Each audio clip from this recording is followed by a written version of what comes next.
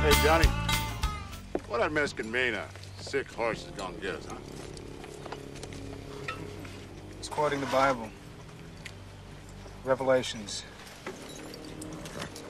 Behold, a pale horse. The man who sat on him was death. And hell followed with him.